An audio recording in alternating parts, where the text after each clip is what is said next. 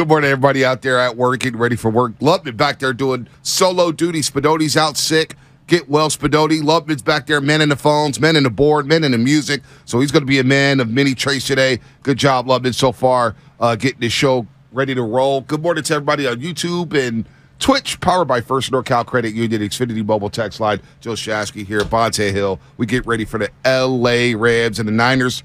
Look, they've had their number in the regular season. In the regular season, the Niners have won eight straight games against their SoCal rivals. That one loss, we know when it happened. We won't talk about it, but that highlight right there, Joe Davis on the call, Christian McCaffrey kind of introducing himself, reintroducing himself to the Bay Area. One of the more iconic games in a 49er uniform for an offensive player. A passing touchdown, a receiving touchdown, and a rushing touchdown. And that was going into the bye week where the Niners did not lose a game No. Until they play Philadelphia. That was such a great game last year, and it felt like it kind of ended the Rams season. Yeah, it did. You know, it felt like it. Yep. It- like the the I don't know what ended up happening after that, but that to me signified the end of their season. They're feeling real good about themselves right now. I think are. they might have had the number one upset of the week. Yes. We we asked Baldy yesterday. Said Baldy, what's the biggest? He goes, I, I did not see the Rams going up there to beat Seattle. Did not see that. I didn't see it. I'm watching the game, Shasky, because you know it's the afternoon Mm-hmm. game. Niners game's over, so we got Raiders and Broncos. We got you know the Eagles and Pats, and I'm watching because your boy had a little chicken on the sea chickens. Um, Did you have a, 13 to a breast or a thigh or a wing? Uh, well, I didn't get anything.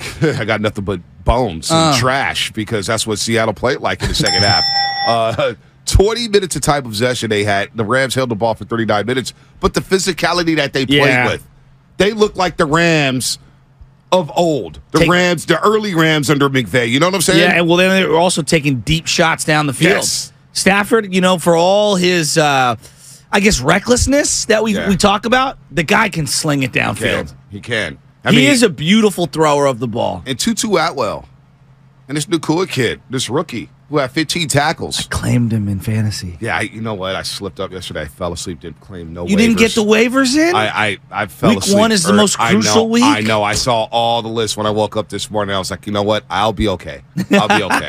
um, I won't jump the gun. I'll keep my waiver position. But uh, no, these guys, these guys at the Rams play hard. They're no names guy. There are a lot of no namers on this defense as well. But it all starts with number 99, Aaron Donald. And Aaron Donald looks motivated. Aaron Donald looks like a guy who doesn't plan on retiring anytime soon. well, I, I'm glad you started there because I said to Lubman when I walked in, you still feel, fear Aaron Donald the way you did two, three years ago? Probably not because the Niners have won eight straight games, but he's still a factor. You can't sleep on him. You know what I'm saying? He, he woke up in the fourth quarter of the NFC Championship Mm-hmm. Game, but for the most part, the Niners they know how to neutralize him. Mm. I don't know what it is, whether it's Brendel, whether it's Burford, whether it's Banks, whoever it is.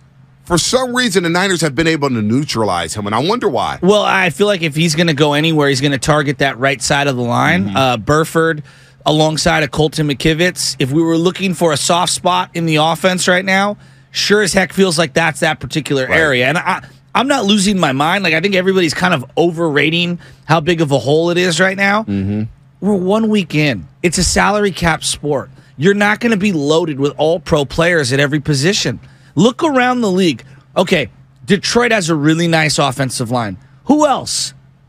Where you got five guys Right. with name recognition. This is not the 90s Right. with the Dallas Cowboys where you could name their entire offensive Right. line left to right tackle. Right. I mean, I I don't know. I, I just Even feel the like Cleveland kind of Browns, they we- lost Jack Conklin in week one. Their tackle. Dallas has a good offensive line, Shasky. I think the Eagles have a very respectable offensive line. That's the one hole we all knew about the 49ers. But th- this is why you you have the cap space. This is why you have a Yes. position that you're in. That's why you're in the position that you're in to say, you know what? If we do need a right tackle at the deadline, if there is somebody who becomes available, we could be in play for it. Yeah. But it's something we all know about. Mm-hmm. It's the one weakness on this football team.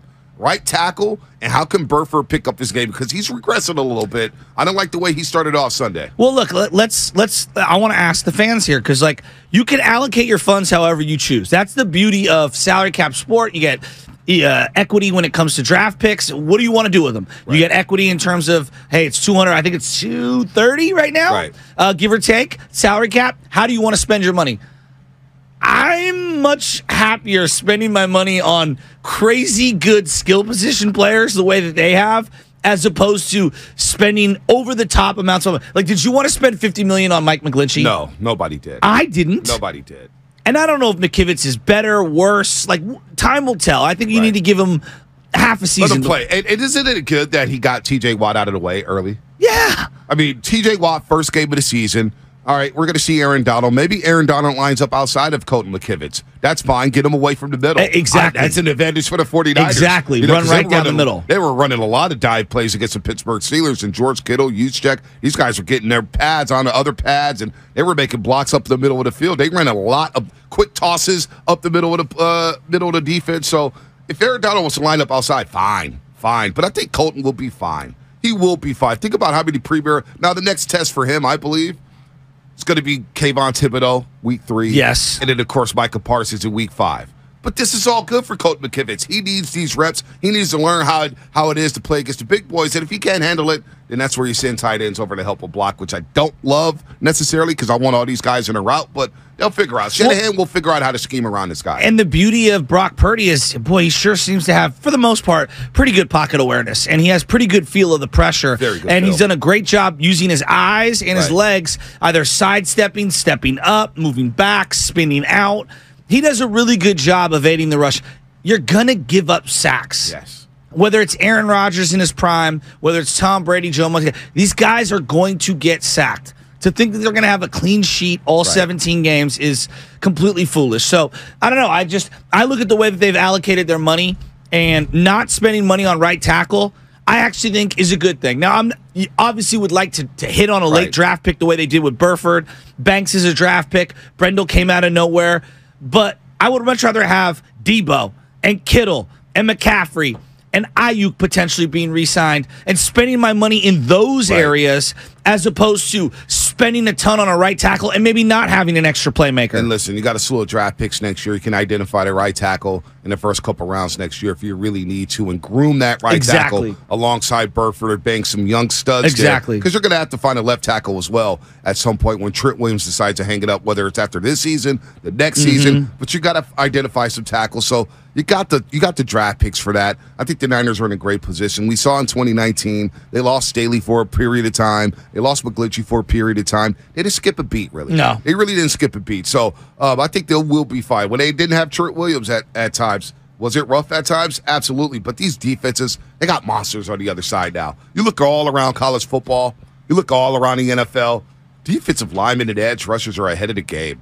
They're tough to block. They're getting fa- they're getting faster. They're getting stronger. They're getting bigger. They're getting smarter. So so you know, offensive line play. This is something we talked about for many years since we started doing shows together. Offensive line plays down all around Yeah. the league. It's not going to be perfect. It's down in college. Mm-hmm. It's down in the pros. Like watch college football. It's great as Shedeur Sanders played Saturday against Nebraska. He got sacked like five to six times. He's running for his life. Right. so it happens at every level. So Exactly. that's why you need a quarterback who can make a play at improv. And that's the one thing about Brock Purdy that I loved about Sunday is that when he did face the rush, he kept his eyes down the field. Yeah. He delivered the ball and he improv. If that's Jimmy G, and I'm not trying to sit here and wreck Jimmy G, but the difference between Jimmy G and Brock Purdy is the play Brock Purdy made to Deebo Samuel. See a rush, see Yeah. a rush, roll it out left. Wait, I'm not going to cross the line of scrimmage. Boom, there's Deebo right there for a 12 yard gain. Jimmy couldn't do that. And that's the next phase of this offense. And that's why Shanahan loves Purdy. I would also say red zone ball security Oh. is extremely, extremely good for Brock Purdy. It just, to me, the naked eye, and I don't have data to support it, I'm just going off the eyeballs.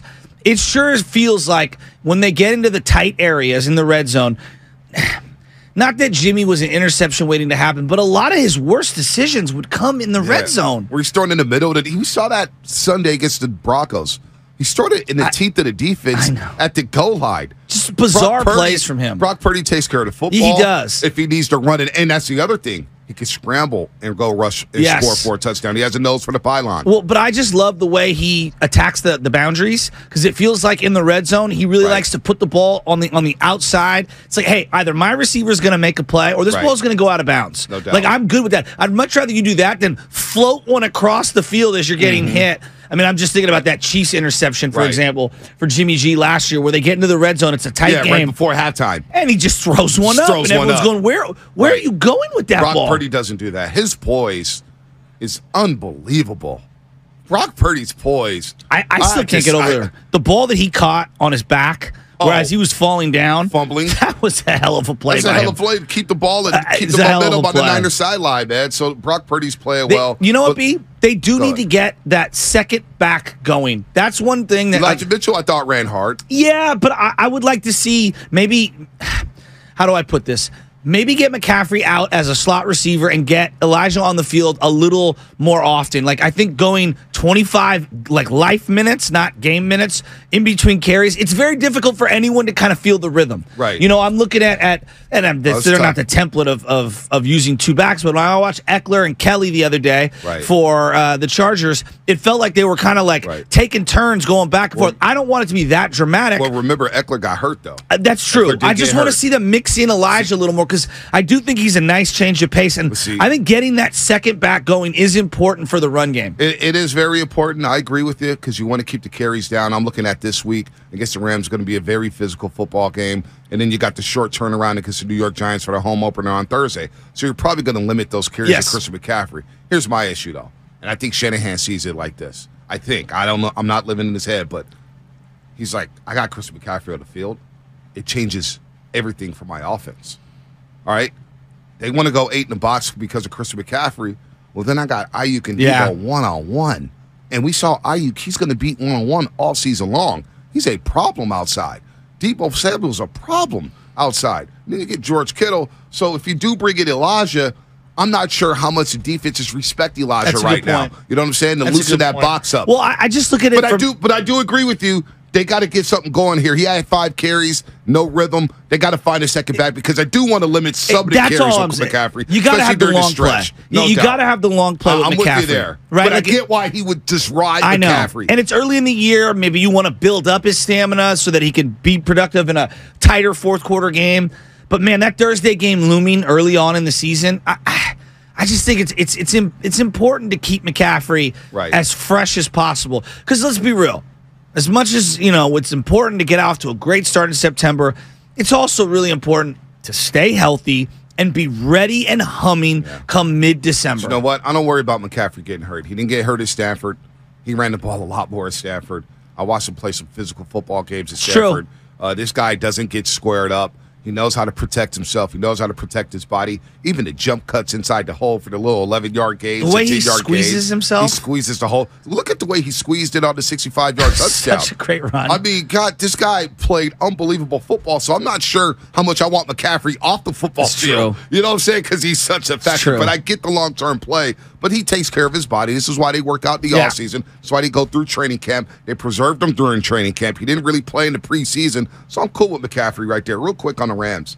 Um, when the Niners beat them last year, 31 to 14, and going to the bye week, and the Niners improved to 4 and 4. Remember, it was Operation 4 4. Yeah. Just get me to 500. Yeah. Get the bye week. Boy, take a deep breath. Felt so different. Oh, it felt so different. But the Rams, that was the beginning of a six game losing streak. So, to your point, it flipped their entire season the wrong way. There we go. The wrong way. They just came off a win against Carolina. They had a bye week to get ready for the 49ers. They had a bye. That's pretty incredible. They had a bye. They get beat up by the Niners. They lose at Tampa Bay. They lose to Arizona at home. They lose at New Orleans. They lose to Kansas City at Kansas City. And their team just fell apart. They got hurt. Stafford gets hurt. Kupp. Everybody just starts breaking down for the LA Rams. So the Rams want this one. You can tell they're hungry. They've lost eight straight regular season games to the 49ers. Eight straight regular season games. I was listening to Stafford. They, they were playing some of his post game sound on the NFL network. You know, when they go around the league and stuff. And he goes, you know, not having Cooper Kupp out there, because someone asked a question like, not having Cooper to just spread the ball around subconsciously a little more. He's like, you know, when you have that number one target, you tend to look in that guy's Yep. direction, whether the play is there or not. That's and when guy. you don't, you kind of just. You're just playing the way that the playbook was meant to be, as opposed to trying to force feed it to somebody. So I think they're a dangerous opponent this week. Not No. that there's some, you know, insurmountable force, or I view them the way I view the Cowboys or the Phillies, uh, the Philadelphia Eagles. But boy, I I think they're very dangerous heading into this week. And